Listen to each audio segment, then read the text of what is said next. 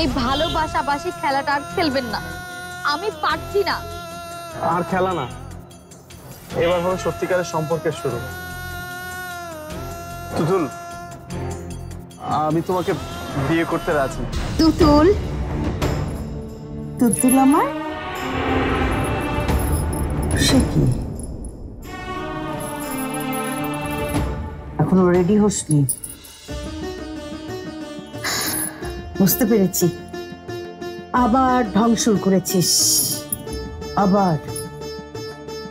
আবার তুই বিয়ে না করার পাইতারা শুরু করেছিস। আবার তুই আমার মুখে চুন কালি মাখাবি সেটা আমি বুঝতে পেরেছি।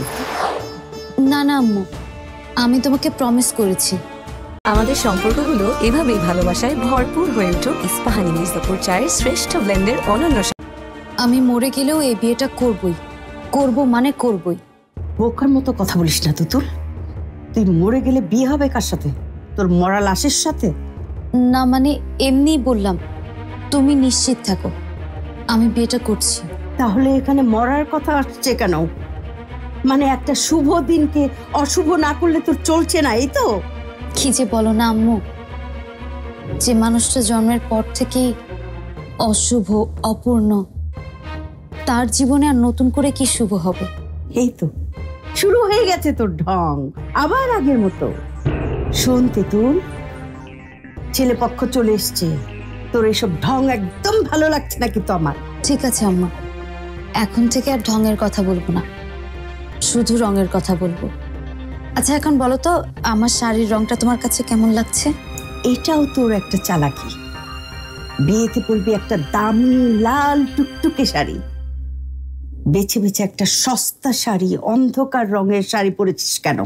সস্তা বলে কি শাড়িটা বাজি হয়ে গেছে আম্মু? তুমি না ছোটবেলায় বলতে পোশাক কখনো মানুষকে দামি করে না বরং দামি মানুষ যা পরে সেটাই দামি হয়ে যায়। তখন ভুল বলতাম।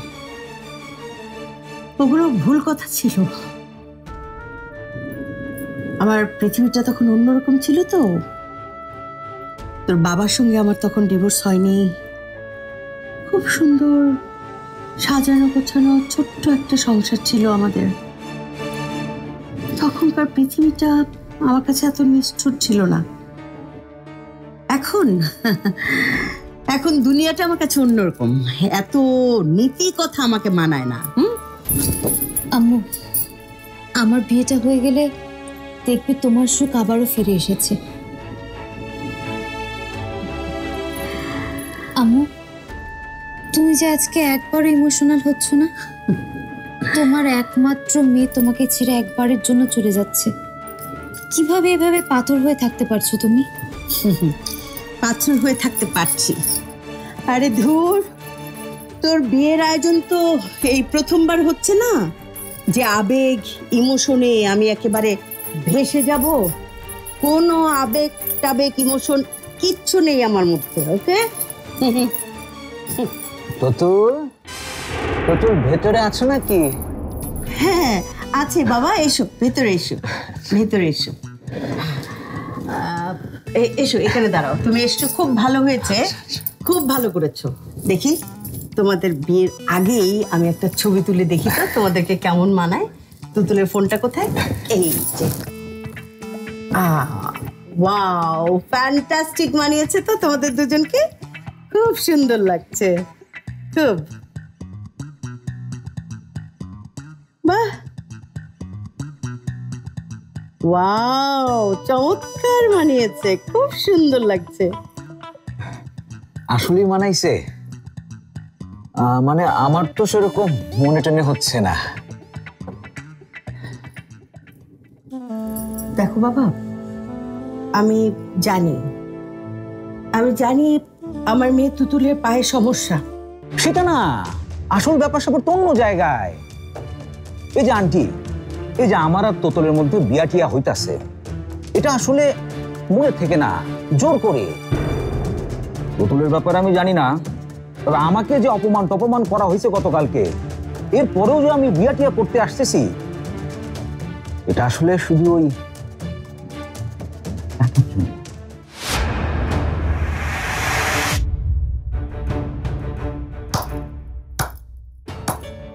ওয়াও আম্মু। তুমি আমার জন্য এমন সত্যবাদী পাত্র নিয়ে আসবে আমি কখনোই কল্পনা করিনি। তুতুল তোর মন তোর কল্পনা এসবের সঙ্গে মিলিয়ে তো পৃথিবীতে কোনো ছেলেই পেতাম না রে। রাই ছেলে তোমাকে বলেছিলাম না? টাকা পয়সা সংক্রান্ত কোনো কথা আমার মেয়ে তুতুলের সামনে বলতে না? ও আচ্ছা আচ্ছা আচ্ছা টেকাটুকার কথা তো বাদ দিলাম। কিন্তু আইফোনের কথাটা তো বলা মানাটানা নাই নাকি? আন্টি আমার না খুব শখ একটা আইফোনের। যদি একটু উপহার টুপহার দিতেন। হ্যাঁ তুমি নিচে যাও কাজে আসো বিয়েটা পড়ানো হোক তারপর আইফোন কান ফোন নাক ফোন মুখ ফোন সব কিছুই পাবে তুমি। যাও নিচে যাও। আচ্ছা। যাও। আসসালামু আলাইকুম। ওয়ালাইকুম আসসালাম।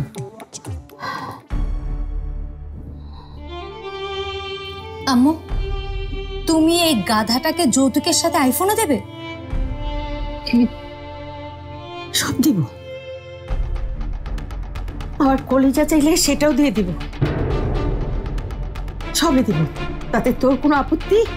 কোনো সমস্যা? না আমার কোনো আপত্তি নেই। আমি তোমাকে বলেছি, বিয়েটা আমি করবই ফ্যান্টাস্টিক তুতুল ফ্যান্টাস্টিক তাহলে চল, ধর। আমার মেয়ের বিয়ে হবে, আমি আইফোন কেন? আমি আরও কত কিছু দিব?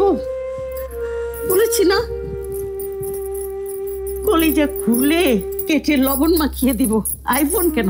চল চল।